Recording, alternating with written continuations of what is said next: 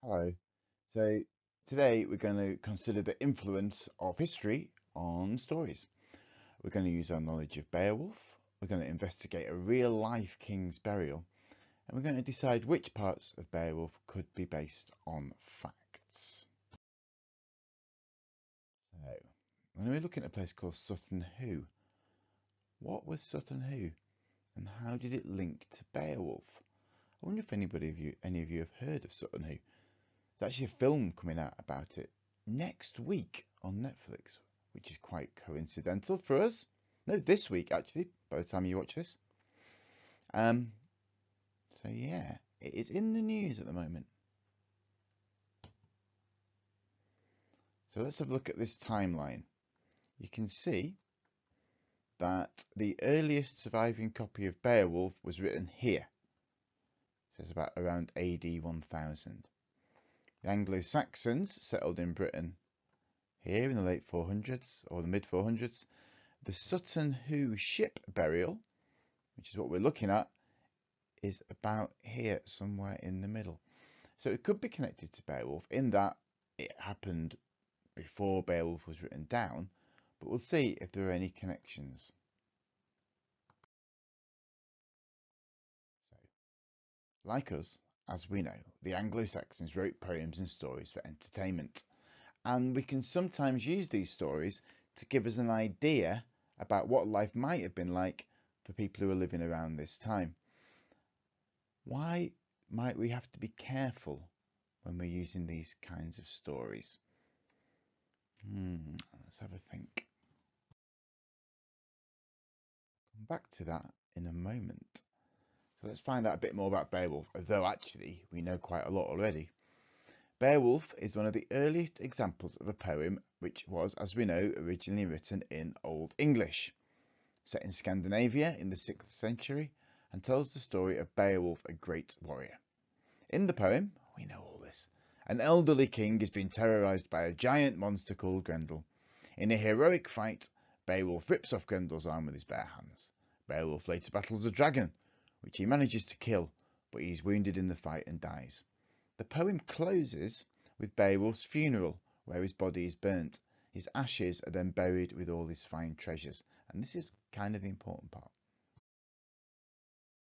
So, if we just have a look thinking about these kinds of stories, which of these things do you think we would could be from history? Which of these things are more fantasy? Which of these things probably couldn't have happened? So let's have a think a moment and then we'll put them into the table. You can pause while you think, otherwise I'll just have to sit here. Right, hopefully you've thought. So let's have a look. The first thing we've got there is a giant monster. I think that belongs in fantasy. Uh, what have we got next? A rich king. I think he could go in history. Could have a rich king. A brave young warrior. Well, I'm pretty sure they existed. A brave young warrior can go in history. A beautiful and wise queen. Again, could be historical. A dragon. Hmm, not sure about a dragon. So I'm going to put a dragon in fantasy. And a magical ring. Of course, we always have to be careful with magic. Um, probably doesn't exist. So let's put magical ring in fantasy as well. But you can see that a lot of the ideas that we get in stories could be things that happened in real life. We just have to be careful about the ones that couldn't. So here is a scene from Beowulf. Does it remind you of any other stories and legends? I know we've talked in class about some of the similarities between Beowulf and some of the ideas in The Hobbit and The Lord of the Rings. And there's various other places where you hear similar stories um, where the ideas have been taken from Beowulf and stories like that. The poem talks a lot about kings and their wealth, about how rich everybody was. In the original poem, I think it goes on even more and more than the version that we read. But can we trust it to tell what life was really like for a king around this time? Let's have a look at the archaeological evidence and find out. So this is where Sutton Hoo comes in. Sutton Hoo is an Anglo-Saxon burial site. It was first dug up in the first half of the 20th century, um, in 1939, I believe, and provides evidence for what life for the rich might have been in Anglo-Saxon times. So if rich people or a rich person was buried there, what sort of things would you expect to find? I can think of things. I think there'd be gold and jewels and weapons and all kinds of things like that. The greatest find at Sutton Hoo was actually a ship in which a man, most likely a king, was buried. The ship was filled with fine weapons and treasures, and this helmet was found in the ship at Sutton Hoo. The helmet is one of the most famous archaeological artifacts that have ever been found in Britain, maybe even in the world. Um, I've seen it in the British Museum. It is pretty impressive. So why was this man buried with treasures and weapons? And they dragged this boat. It wasn't that near. I mean, it's fairly near the sea, but this boat was brought a long way from the sea. So why do we think he was buried with treasures and weapons? We're going to watch a video now about Sutton Hoo, and then we'll carry on afterwards.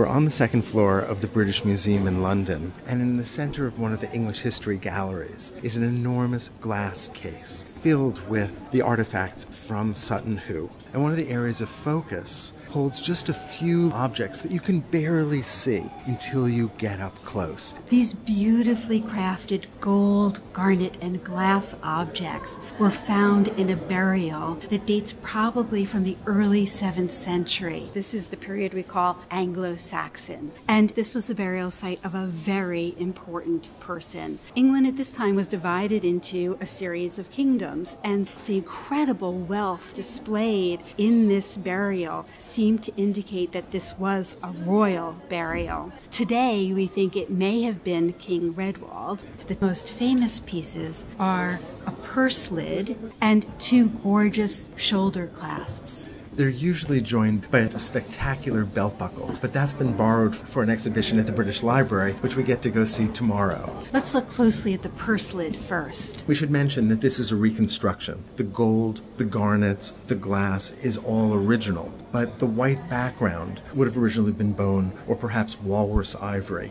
So what we're seeing is the most intricate, most detailed knotting of forms, where line intertwines, where animals and humans and abstract line create these spectacular patterns, but they're so minute that I can barely see them with my eyes. What we're looking at is something that art historians often call an interlacing animal style, which is typical of Anglo Saxon England. The designs along the top are abstract interlacing, but along the bottom we see figures and animals on the corners, symmetrical designs, a human figure with animals that are sometimes described as wolves on either side of the figure. And in the center, a bird of prey, often described as an eagle, which seems to be attacking a smaller bird, perhaps a duck. The craftsmanship is stunning. Not only do you see inlaid garnet, but you also see a glass technique called millefiori, an Italian word which means a thousand flowers. You take canes of glass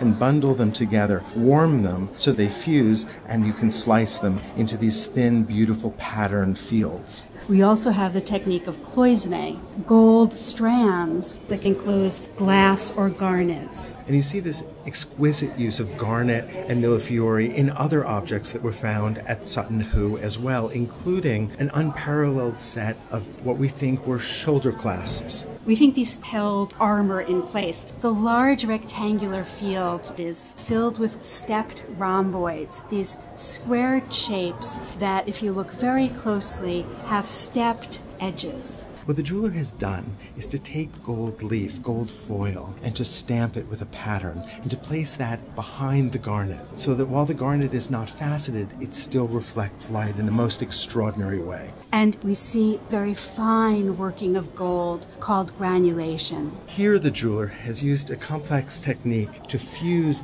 tiny granules of gold in very precise ways to the surface of the clasp itself. We see interlaced serpents. We can just make out their eyes and their heads and their tails. The eyes are easy to recognize because those are little bits of inset blue glass. This interlacing is very familiar to people who have looked at slightly later medieval manuscripts. So all of this was found at a place called Sutton Hoo in the ancient kingdom of East Anglia. What the archaeologists found were the imprint of a large ship, a ship that had actually been used and had been hauled up from an estuary close by for this important ceremonial burial. No trace of the body and almost no trace of the ship remains, we think because of the acidic soil, but the gold survived. The word Anglo Saxon refers to this period between Roman rule and then the Norman invasion in 1066. And the word Anglo Saxon comes from the Angles and the Saxons, people who migrated to the island of Great Britain in the 6th century.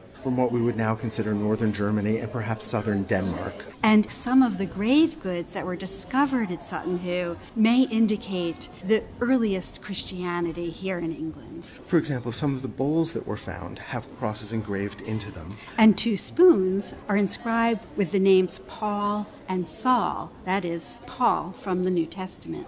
And the finds are extraordinary in their own right, but they also tell us a lot about this culture. They remind us that Britain was not an isolated island and that there was extensive trade. We have garnets from Sri Lanka. There's even an enormous silver platter that was made a hundred years earlier in the Byzantine Empire. We've even found bitumen in the tomb, which has recently been shown to come from Syria. So we're talking about a world where the Middle East, the Mediterranean, and as far north as Britain were all interconnected. This is among the most sophisticated jewelry that was produced in the early medieval period anywhere in Europe.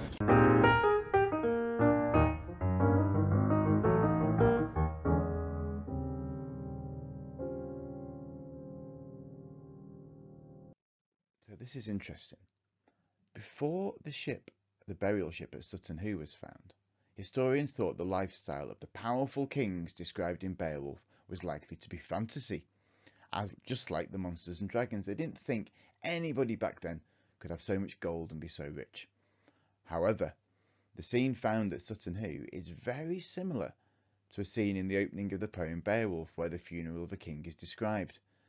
In this scene, the dead king is put in a ship full of treasures and weapons, just like the one found at Sutton Hoo.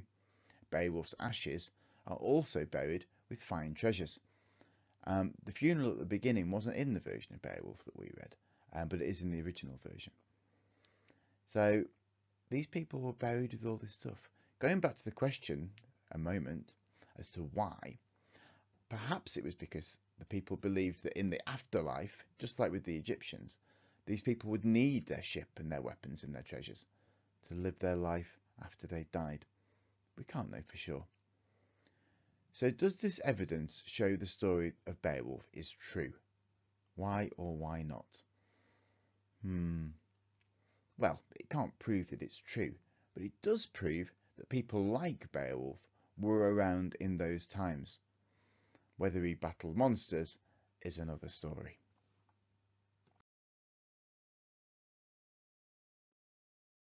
As it says here, we don't believe it actually happened, but it can tell us about the lives of these kings and warriors. People thought all of it, or historians thought all of it was made up, but Sutton Hoo shows us that some of it might be true. What I want you to do is research online and use some of the things that you already know to produce a fact file about Sutton Hoo. And what I mean by a fact file is imagine you opened the pages of an information book for children and there's the main text and there's lots of little boxes and pictures and captions and like fast facts boxes and things like that. I started one. This is just the first page of my Sutton Hoo ship burial um, fact file. So I've got on here the where, what, who, when, why of Sutton Hoo. I've got a title. I've got a box saying what sort of treasures were found, a little box saying why it's unusual, a picture of the helmet, um, uh, a picture of the tomb of a great king, and this is my picture of what perhaps Beowulf's tomb was like. I'm sure you can find lots more about Sutton Hoo to put into your fact files, and I'd really love to see them.